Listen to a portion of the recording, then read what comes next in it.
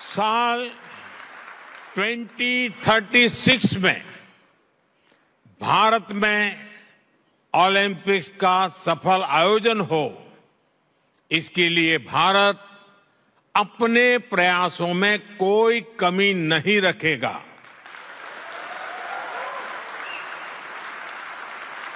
ये 140 करोड़ भारतीयों का बरसों पुराना सपना है।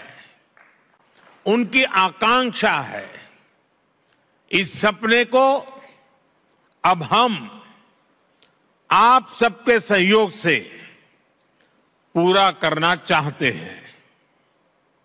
और 2036 ओलंपिक से भी पहले भारत साल 2029 में होने जा रहे यूथ ओलंपिक्स की मेजबानी करने को भी इच्छुक है।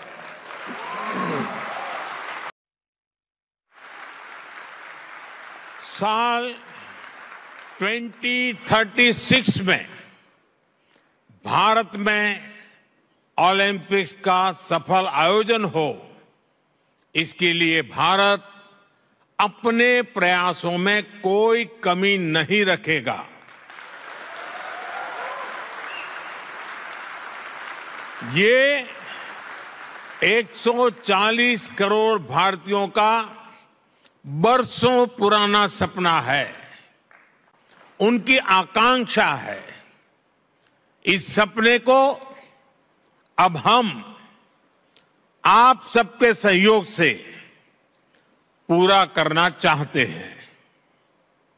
और 2036 ओलंपिक से भी पहले भारत साल 2029 में होने जा रहे यूथ ओलंपिक्स की मेजबानी करने को भी इच्छुक है।